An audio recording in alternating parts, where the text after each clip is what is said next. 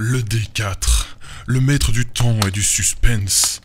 Excellent système de défense en cas d'intrusion. Cet objet hmm, a déjà torturé mon âme pendant des siècles avant d'en comprendre la puissance. Il est temps d'en offrir les clés au Conseil des Ombres et oh, oh, oh hey, salut mes poneys Je m'attendais pas à vous voir si vite arriver, comment allez-vous? Allez venez, prenez place. J'étais justement en train de préparer la leçon du jour, la maîtrise du temps. J'espère que vous avez quelques pages de livres dans votre grimoire, car vos joueurs vont pas spécialement apprécier ce qui va leur tomber dessus. Comme toujours, je t'invite à t'abonner à la chaîne et de venir discuter avec nous sur les parutions Facebook, de mettre le like à la vidéo, et il est temps de balancer le générique. Introduction.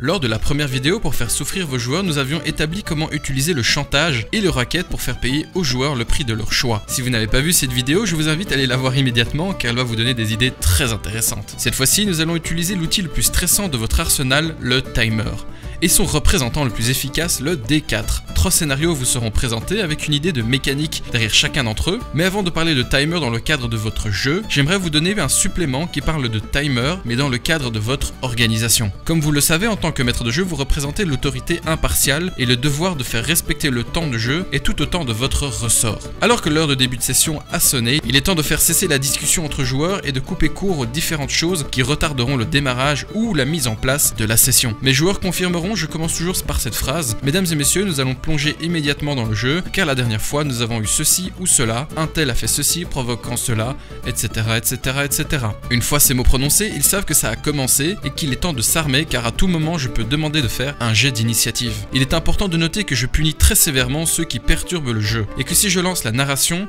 le reste doit rester en suspens jusqu'à la pause. Grâce à ça, vous avez lancé la machine, et vous avez établi une forme de timer sur l'organisation et la vie de votre groupe. Plus le temps discuter à propos du film ou du dernier jeu à la mode, maintenant c'est l'heure où il va falloir être un héros autour de la table. Maîtrisez le temps de jeu et demandez à vos joueurs de respecter votre parole lorsque vous établissez le démarrage. Il en va du respect de tous. Allez, sur ces belles paroles, plongeons dans la technique et les mécaniques à proprement parler dès à présent. Premier scénario, la chasse. Le scénario de la chasse est un scénario assez facile à placer ou à adapter. Nous avons nos héros qui sont poursuivis par des personnes hostiles à leur présence. Parmi ces personnes, nous avons notamment un minotaure enragé, bavant et ouvertement violent, qui semble fixer les joueurs dans l'optique de les découper avec son énorme hache qu'il tient dans ses mains. Lancez le D4 devant les joueurs et annoncez-leur combien de tours ils ont avant que le groupe ne soit sur eux. Le groupe hostile peut être remplacé par des créatures fuyantes ou s'échappant de quelque chose. Ici, le vrai risque est qu'une masse violente contre quoi les joueurs ne pourront rien faire, sauf fuir, va débouler sur eux dans un des quatre tours et qu'ils vont morfler s'ils ne fuient pas. Préparez des éléments sur votre plateau ou dans votre narration, comme des obstacles, des choses à devoir éviter, des encombrements, des terrains difficiles qui ralentiront la progression des joueurs. Et vous allez vite comprendre que les joueurs détestent fuir. Ici, la mécanique de timer permet de savoir s'ils pourront échapper ou non à la poursuite et que l'échec de progression d'un seul membre entraînera des questions sur la loyauté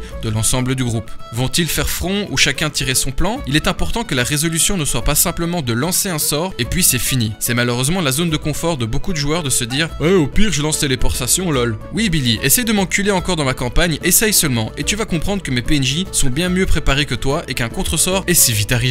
Comme disait Scar, longue vie au roi. Et je vous laisse imaginer le mécanisme de timer arriver à terme dans l'extrait suivant.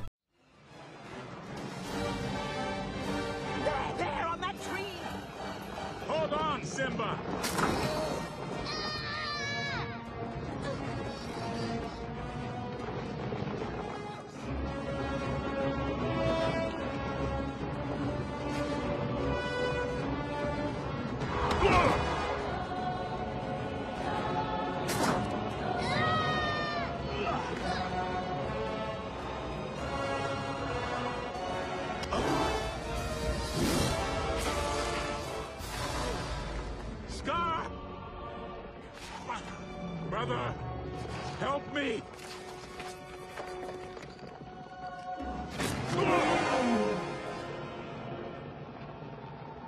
Long live the king.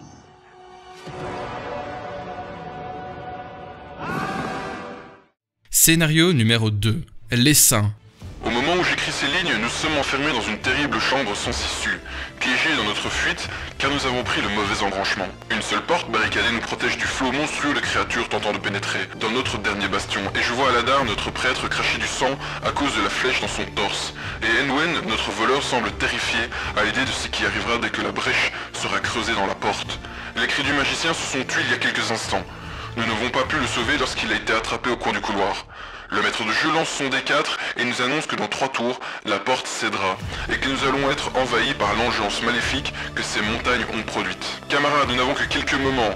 Que faisons-nous? Avons-nous d'autres alternatives? Et c'est là que j'ai entendu le rire du maître du jeu. Voici le scénario par excellence où les choses vont de mal en pire. Un mauvais choix, et c'est qu'une question de secondes avant de devoir faire face à son destin. Ici, pas de fuite comme dans le premier scénario, nous allons devoir tenir au mieux que nous pouvons. Vous avez annoncé à vos joueurs qu'ils vont devoir se trouver des ressources et rapidement. Vous montez le niveau de la rencontre à un cran plus élevé. Et si j'étais vous, je leur ferais un petit test de sagesse, un petit jet de sauvegarde pour mettre en doute le sang-froid des personnages avec cette erreur. La différence entre les personnages et la grande faucheuse vient de considérablement se réduire. Ils le savent, vous le savez, et si en plus certains abandonnent la volonté de combattre par dépit à cause de l'échec de la sagesse, ils se verront infliger des désavantages à toutes leurs attaques tant qu'à leur tour de jeu ils ne feront pas un jet de sauvegarde de 17 à leur sagesse. Que vont-ils faire lorsque les solutions deviennent rares et que le fil est de plus en plus tendu? Et même s'il reste encore un nain qui respire dans la Moria, n'oubliez pas que les tambours viennent des profondeurs, et moi, j'arrive.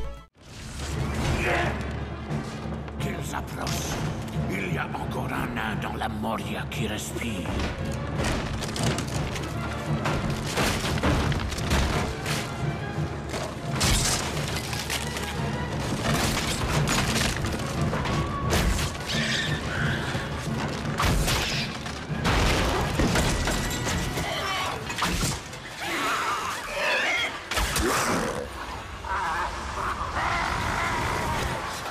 Scénario numéro 3 la bombe critique. Dans le troisième scénario, et le plus difficile de tous, les joueurs entrent dans une salle à première vue anodine, baignée dans le noir à l'exception de cette énorme chose ressemblant à un œuf, verdâtre, luisant faiblement dans le noir. Le souci est que la sortie est de l'autre côté d'un pont extrêmement fragile. Si les joueurs décident de le traverser, ils se trouveront encore plus proches de cette chose, mais c'est le seul chemin encore possible. Alors qu'ils avancent, les héros remarquent les profondes traces laissées par l'acide autour de l'œuf et que l'œuf se met à luire et à vibrer légèrement. Au même instant, un halo de lumière verte apparaît depuis le plafond, puis un autre, puis encore un autre encore un autre. C'est à ce moment-là que les héros se rendront compte que la zone est remplie de ces choses, de ces œufs, et que s'ils ne sont pas sortis dans un des quatre plus un tour, ils vont devoir faire face à la plus grosse quantité d'acide qu'ils n'ont jamais connue. Seulement plusieurs choses vont arriver en plus. La première, une créature appelée un crutique va sortir d'un des œufs près de la sortie pour affronter les joueurs. Numéro 2, à la sortie du crutique, une flaque d'acide va faire fondre l'accès vers la sortie. Numéro 3, une fumée asphyxiante va envahir la pièce. Numéro 4, d'autres créatures commencent à s'agiter dans les œufs, déchirant tour après tour la membrane pour sortir de l'œuf. Pour définir ça autrement, la pièce est une bombe à retardement, que les joueurs n'auront pas le temps d'esquiver. C'est écrit et ils ne peuvent rien contre ça. Il faut absolument qu'ils trouvent une solution car la situation est de plus en plus critique et vous allez lancer le D4 pour leur indiquer dans combien de temps les œufs vont exploser et faire sortir les créatures. De plus,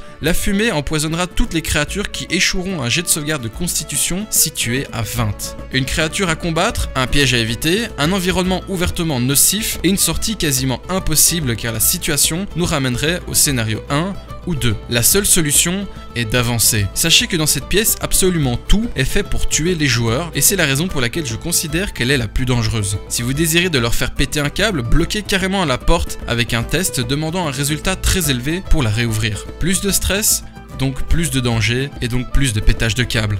En conclusion, vous l'avez remarqué j'imagine, le principe derrière la mécanique de timer est de pousser les joueurs. Mais pas uniquement en jouant sur les objectifs ou les conséquences de leurs actes, non. Les pousser à agir en leur mettant la corde au cou et en leur murmurant dans l'oreille « bonne chance » avant de les jeter du haut d'un pont. Ils vont devoir agir et réfléchir vite. Ils vont devoir se focaliser sur l'essentiel et aller de l'avant au risque de voir leur héros mourir. Tout ne peut pas être sauvé et c'est une réalité qu'il va falloir rapidement accepter s'ils désirent tirer leur épingle du jeu. Pousser les joueurs, pousser et provoquer l'action. Il va y avoir de la casse et tout est prêt à sauter d'un instant à l'autre. Dans la vidéo, j'ai été crescendo sur la complexité de la mécanique afin que vous puissiez juger de l'adaptation à faire selon vos joueurs. Je tiens aussi à préciser que cette mécanique a ses limites. Elle ne doit être utilisée qu'exceptionnellement car les joueurs vont juste laisser tomber si vous leur faites des coups tordus pendant 4 heures de jeu. J'espère que la vidéo t'aura plu ou au moins aidé. N'oublie pas les réseaux sociaux, moi je retourne travailler sur la suite. Je vous souhaite à tous un très bon jeu et à la prochaine fois.